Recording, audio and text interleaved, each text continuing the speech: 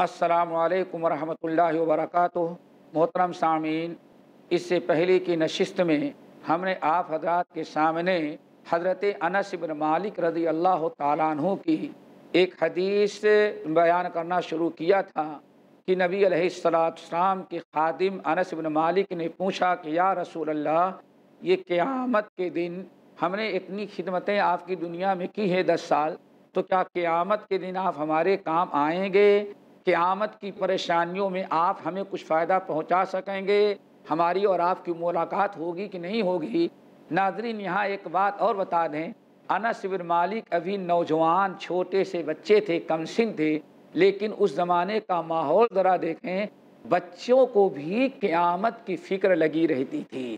کہ آج بچوں کو کھیل کود سے فرصت ہی نہیں، دنیاوی چیزوں سے فرصت ہی نہیں وہ کبھی سوچتے ہی نہیں کیا ہمیں بھی ہو سکتا ہے بڑے ہونے کے پہلے ہی ہم مر جائیں۔ تو انسان کو عبرت و نصیحت حاصل کرنی چاہیے کہ چھوٹا سا بچہ ہے، نبی علیہ السلام کا خادم ہے۔ پھر بھی پوچھ رہے ہیں، یا رسول اللہ، قیامت کے دن ہم سے اور آپ کی ملاقات ہوگی، کچھ کام آئیں گے؟ نبی علیہ السلام نے ساتھ فرمایا ہاں کیوں نہیں؟ لیکن انس بہت ذہین اور فتین تھے۔ کہا، یا رسول اللہ، حشر کا میدان ہو۔ سارے اولین و آخرین ہوں، ہر انسان وہاں اکٹھا ہو، تو اتنے بڑے مجمع میں ہم آپ کو کہاں ڈھونڈیں گے، کہاں آپ کو میں پاؤں گا؟ کتنا فکر مندی کا سوال۔ یا رسول اللہ، آپ تو وعدہ کر رہے ہیں کہ ہاں آپ سے ملاقات ہوگی۔ لیکن اتنے بڑے مجمع میں ہم آپ کو کہاں ڈھونڈیں گے، کیسے آپ سے ملاقات ہوگی؟ تو نبی علیہ السلاۃ اسلام ارشاد رمایا کہ انس سب سے پہلے ہم کو ڈھونڈنا تو اندل میزان، جہاں نیکی بدی کا وزن ہوتا رہے گا، جہاں بندوں کے اعمال تولے جاتے رہے گے، مجھے وہاں آ کے ملنا۔ اللہ اکبر، یہ رحمت للعالمین ہے۔ آج انسان ان کی رحمت العالمین کے اطاعت و فرما برداری کو چھوڑ کر کے ناظرین، یہود و نصارہ کا طریقہ، نبی کا اسوا نبی کا طریقہ، نبی کے اخلاق، نبی کے کردار کو چھوڑ کر کے آج دنیا میں کھلاڑی طرح طرح کے لوگوں بیکار قسم، فضول قسم کے لوگوں کے طور طریقے کو اپنائیں، ان سے محبت کریں۔ کیوں کام آنے والا ہے۔ رحمت بیان فرماتے میں اپنے امتیوں کی فکر کرتے ہوئے اس وقت وہاں موجود رہوں گا جہاں بندوں کے نام اعمال وزن کیے جاتے رہیں گے۔ انس، ہمیں آ کے وہاں ڈھونڈنا۔ انس، اگر جہاں بندوں کے اعمال وزن کیے جا رہے ہیں، اگر میں وہاں نہ ملوں، تو تم آنا وہاں، جہاں اللہ تعالیٰ نام اعمال تقسیم کرتے ہوں گے۔ کیوں؟ یہی تین مقام سب سے خطرناک ہوں گے۔ انس، وہاں آنا۔ اگر میزان کے پاس نہیں ملاقات ہوگی ہماری، مجھے وہاں نہیں پانا، تو فوراً تم ہم کو ڈھونڈتے ہوئے آنا، جہاں نام اعمال تقسیم کیا جاتا ہوگا۔ کتنے لوگ ایسے ہوں گے جن کے نام اعمال دائیں ہاتھ میں، کتنے ایسے ہوں گے جن کا نام اعمال بائیں ہاتھ میں دیا جاتا ہوگا؟ انس تم وہاں آ کر کے مجھے ڈھونڈنا، یا رسول اللہ، ہم اگر وہاں پہنچ بھی گئے اور آپ وہاں نہ ملے تب کیا کروں گا؟ انس ابن مالک بھی سوچتے ہیں کہ پوری تفصیل لے لیں تاکہ حشر کے میدان میں آپ کو ہم ڈھونڈ سکیں۔ آپ نے ساتھ نمایا انس، اگر مجھے وہاں بھی تم نہ پاؤ جہاں نام اعمال تقسیم ہو رہے ہیں، تو ایسا کرنا، تم جہاں سے پلسرات شروع ہوتا ہے، وہاں تم آ جانا، وہاں مجھے پاؤ گے اگر پہلی دونوں جگہوں میں نہیں رہوں گا، تو تیسری جگہ تم ضرور پاؤ گے اللہ اکبر، آپ نے اشارہ کیا کہ یہ تینوں مقامات سب سے بڑی مصیبت ہوں گی ایک تو نام اعمال کے بدن کے وقت نمبر دو، نام اعمال تقسیم ہونے کے وقت، نمبر تین پلسرات پر گزرنے کے وقت۔ یہ سب سے مشکل اوقات قیامت کے دن ہوں گے۔ ناظرین بات یہ چل رہی تھی، پیچھے ذرا غور کریں کہ نبی علیہ السلام کے فرمان کے مطابق یہ قیامت کی بڑی مصیبت طامت القبرا قرآن نے کہا ہے۔ اس وقت آپ کی یہ مصیبتیں کس عمل کی بنا پر دور ہوگی اللہ ان بڑی مصیبتوں سے کس بنا پر آپ کو بچایا جائے گا؟ آپ کا مال کام آئے گا؟ یا آپ کی بادشاہت؟ یا آپ کی کمپنیاں اور فیکٹریاں؟ آپ کی زمینداری کام آئے گی؟ کچھ اور وہاں کام آنے والی چیز ہے۔ اللہ کے رسول نے دوسری چیز حدیث کے اندر کیا بیان فرمایا؟ من فرج ام مسلم قربتن من قرب الدنیا نفس اللہ عنہ قربتا من قرب یوم القیامہ، او کما قال علیہ السلام یہ عمل اپنانا پڑے گا، آپ نے فرمایا، لوگو، میرے امتیو، اگر تم چاہتے ہو کہ قیامت کی بڑی سے بڑی مصیبتیں اللہ تعالیٰ تم سے دور کر دے، تم کو بچا دے، تو اس کا ایک ہی راستہ تم کو بتاتا ہوں، وہ کیا ہے؟ کہ من فرج ام مسلم قربتن جس نے اپنے کسی مسلمان بھائی کی دنیاوی کسی مصیبت کو ہٹا دیا، مدد کیا، مصیبت دور ہو گئی، مصیبت سے نجات پا گیا، تو اس مومن کو، اس مومن کے مصیبت دور کرنے کے بدلے اللہ تعالیٰ دنیا کی مصیبتیں بھی ٹال دے گا اور قیامت کی چھوٹی مصیبتیں نہیں بڑی سے بڑی مصیبتیں بھی اللہ تعالیٰ اس کی برکت سے ہٹا دے گا ٹال دے گا، مصیبتوں سے وہ بچ جائے گا۔ غالباً اسی لیے انبیاء علیہ السلام صحابہ، تابعین، اولیاء اللہ، ہمیشہ انہوں نے ساری زندگی جہاں رب کی عبادت کی ہے، رات رات بھر جگ کر کے تحجد کی نماز پڑھی ہے، اپنے مال سے صدقہ اور خیرات کیا ہے۔ وہاں مسلمان بھائیوں کی پریشانیاں دور کرنے میں بھی بڑھ چڑھ کر کے حصہ لیا ہے۔ اسی لیے قرآن پاک سورہ انبیاء کی آیت انبیاء علیہ السلام کے بارے میں اللہ تعالیٰ رشاد فرماتے ہیں، وَجَعَلْنَاهُمْ أَئِمَّةً يَهْدُونَ بِأَمْرِنَا وَأَوْحَيْنَا إِلَيْهِمْ فِعْلَ الْخَيْرَاتِ۔ یہ بڑی اہم آیت ہے۔ ناظرین، اس پر ذرا غور کرو، سورہ انبیاء کی آیت اللہ رب العالمین، فعل الخیرات، لوگوں کے ساتھ بھلائیاں کرنا، نیکیاں کرنا، لوگوں کے کام آنا، ان کی مدد کرنا، اللہ کی عبادت کے ساتھ یہ عمل بھی کیا جائے۔ یہ کتنا بڑا عمل ہے، کتنا کار آمد یہ عمل ہے۔ اللہ تعالیٰ سورہ انبیاء کی شاید میں فرماتے ہیں، اس پر ذرا غور کرو۔ انبیاء کا تذکرہ چل رہا ہے۔ اللہ فرماتے وَجَعَلْنَاهُمْ أَئِمَّا ہم نے ان کو پیشوا بنایا۔ یہدون بامرنا، ہمارے حکم کی طرف لوگوں کو بلایا کرتے تھے، دعوت دیا کرتے تھے۔ اور یہ انبیاء اور کیا کرتے؟ ہماری طرف پوری قوم کو بلاتے، پیشوائی کرتے۔ اور کیا کرتے؟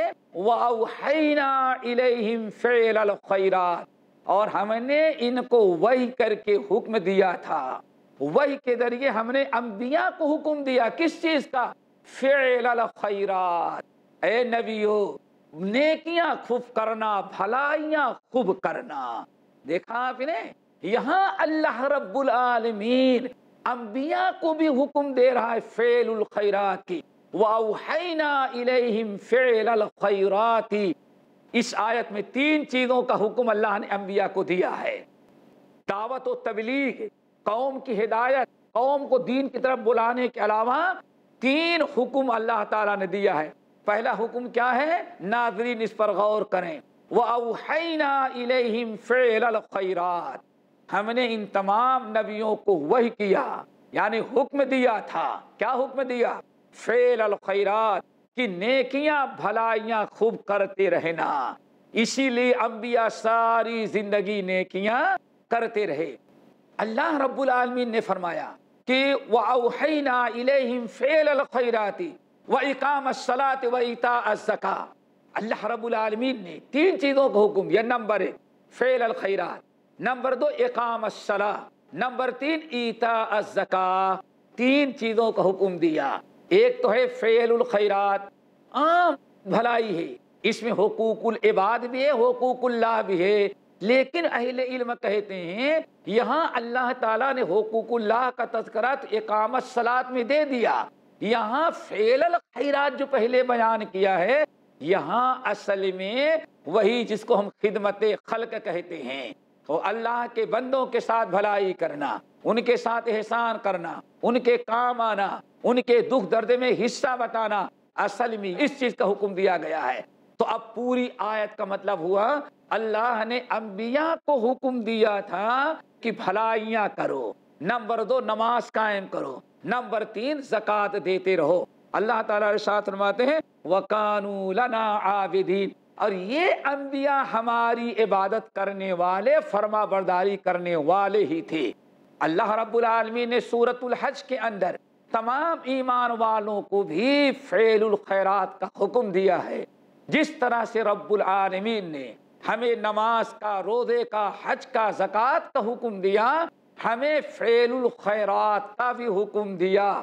عام طور پر آج بھی عربی زبان میں فائل الخیر اس کو کہتے ہیں جو بندوں کی مدد کرتا ہے۔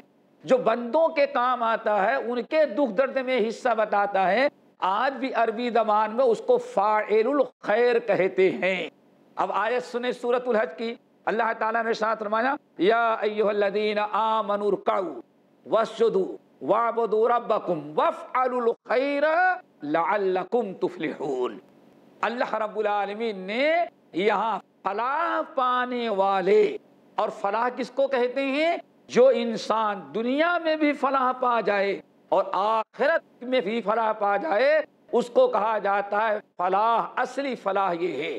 اگر ایک انسان دنیا میں بہت عیش کی زندگی گزارے اور آخرت کی کامیابی نہ ہو تو وہ انسان کبھی کامیاب نہیں۔ رب العالمین فرماتے ہیں، فمن عن النار وَأُدْخِلَ الْجَنَّةَ فَقَدْ فَاد جو انسان جہنم سے بچا دیا گیا اور جنت میں داخل کر دیا گیا، یہ انسان ہے جو کامیاب ہوا۔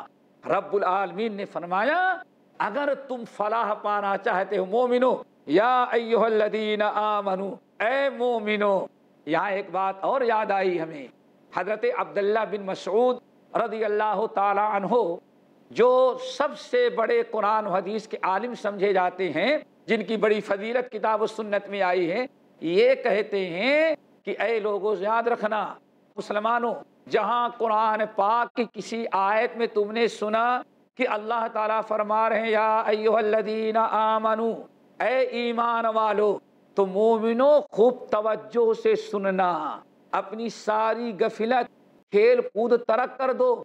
جہاں قرآن پاک میں کہا، یا ایوہ الذین آمنو، دنیا کی ساری چیزوں کو چھوڑ کر کے خوب توجہ سے اللہ کے فرمان کی طرف متوجہ ہو جاؤ۔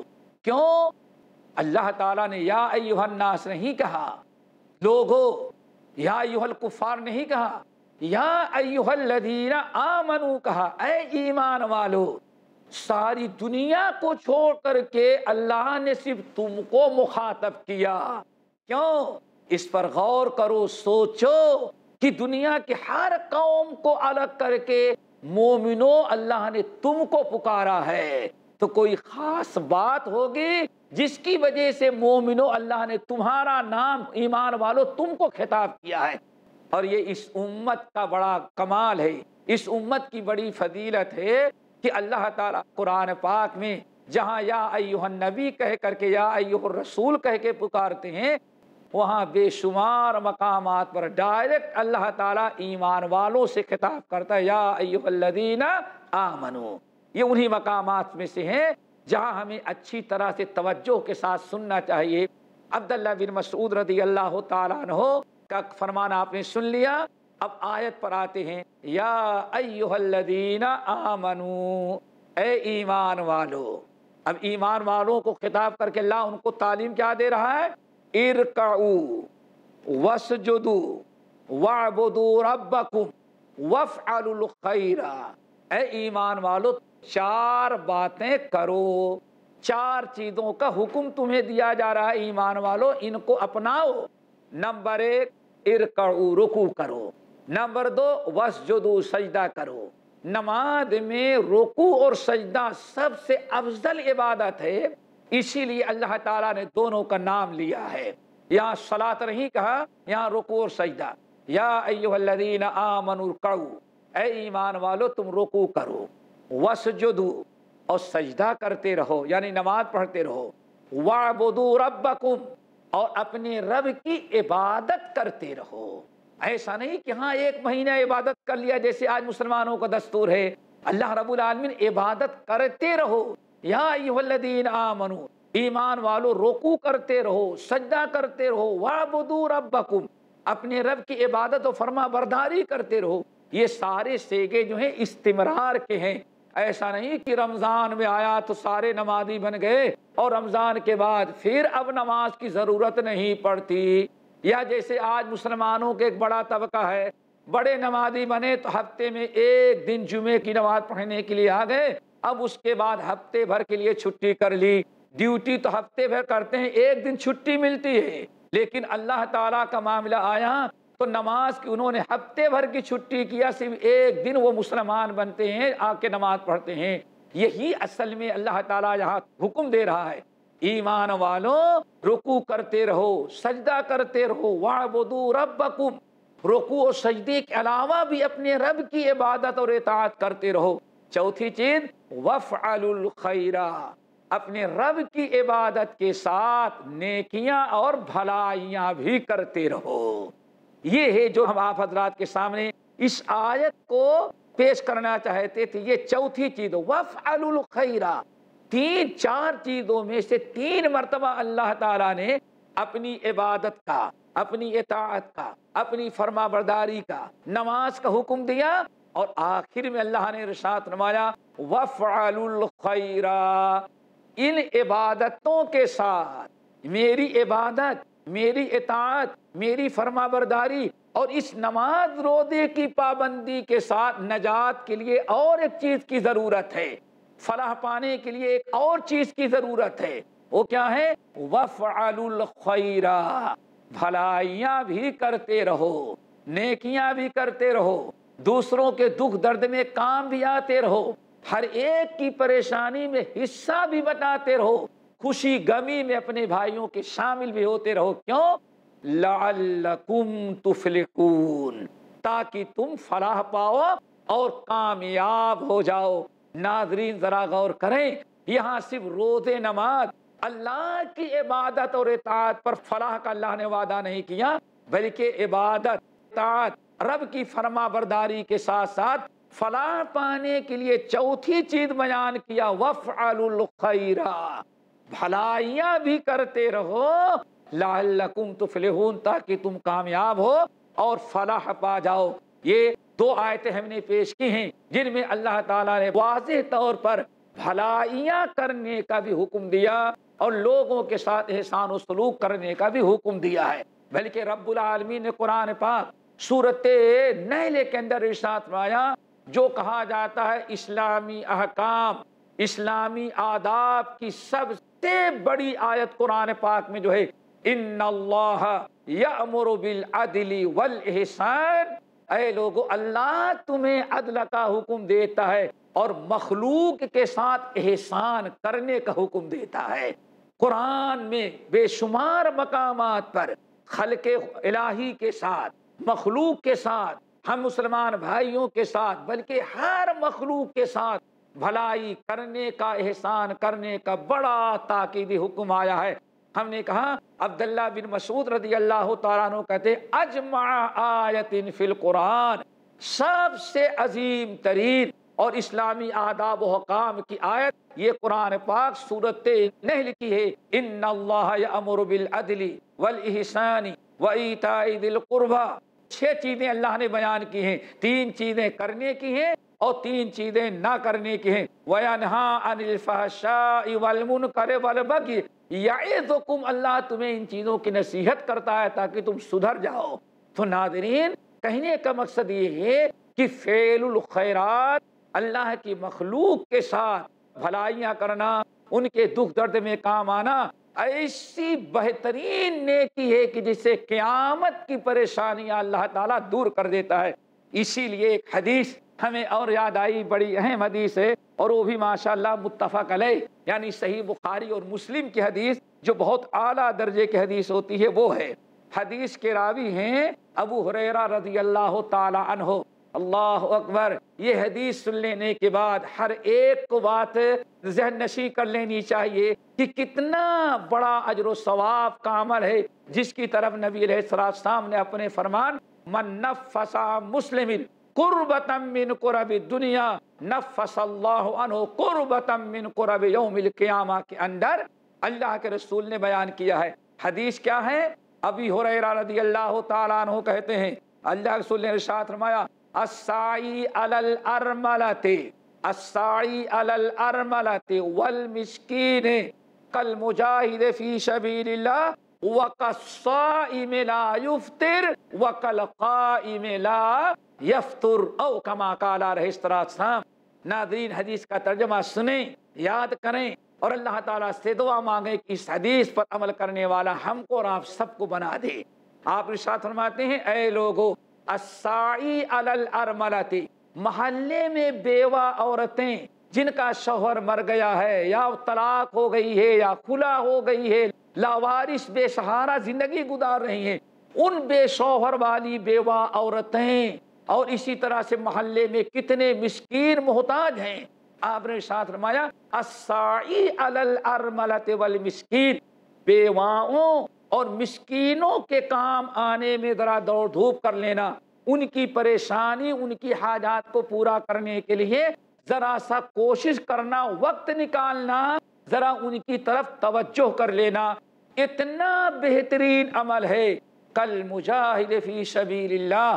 جتنا ثواب اللہ تعالی میدان جہاد میں مجاہد کو جہاد کرنے کا ثواب دیتے ہیں، اتنا ہی ثواب اللہ تعالی محلے میں موجود بیوہ اور مسکینوں کے کام کرنے اور ان کی مشکلات اور حاجات کو پورا کرنے میں اللہ تعالیٰ عجر و ثواب دیا کرتا ہے۔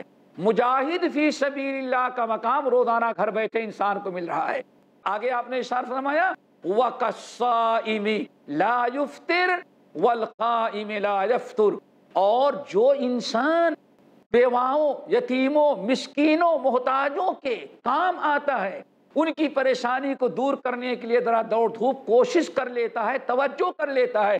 ایک ثواب تو ہے مجاہد کے برابر ثواب ملتا ہے، اور دوسرا ثواب کیا ہے؟ اللہ اکبر قصائم لا یفتر اس روزے دار کے برابر ثواب ملتا ہے جو روزے دار ہمیشہ روزہ ہی رکھتا ہے، کبھی افطار کرتا ہی نہیں۔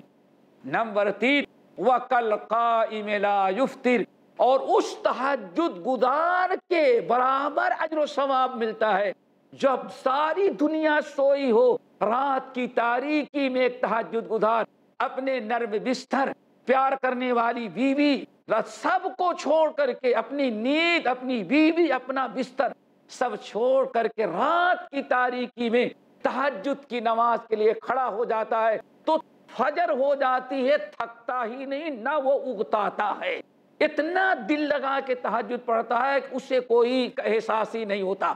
آج فرمائے رات پر تحجد کی نماز پڑھنے والے، دن بھر روزہ رکھنے والے اور میدان جہاد میں جہاد کرنے والے مجاہد کے برابر اللہ میرے اس امتی کو اجر و ثواب دیتے ہیں جو یتیموں اور بیواؤں مسکینوں کے کام آ جاتا ہے، ان کے دکھ درد میں ذرا خیال رکھتا ہے، ان کی مشکلات کو حل کرنے کی کوشش کرتا ہے۔ ناظرین، یہ بڑی اہم چیز ہے جو نبی علیہ السلام نے یہاں ہمیں جس کا حکم دیا ہے، ہمیں کوشش کرنا چاہیے کہ قیامت کی ساری پریشانیاں اور دنیا کی ساری مصیبتوں سے اگر ہم اپنے آپ کو بچانا چاہتے ہیں تو نبی علیہ السلام کا فرمان یاد رکھیں، من نفس مسلم قربتا من قرب الدنیا جس نے کسی مسلمان بھائی یا مسلمان بہن کی پریشانی کو دور کیا، اس کے بدلے اللہ اس کی پریشانی دنیا کی بھی دور کر دیتے ہیں اور آخرت کی پریشانیوں سے بھی بچا لیتے ہیں۔ اللہ تعالیٰ سب کو عمل کی توفیق نصیب فرمائے۔ باقی انشاءاللہ اگلی مجلس میں تیسرا عمل جو ہے وہ پیش کریں گے۔ اقول قولی هذا واستغفر الله من كل ذنب واتوب الیہ۔ السلام علیکم ورحمۃ اللہ وبرکاتہ۔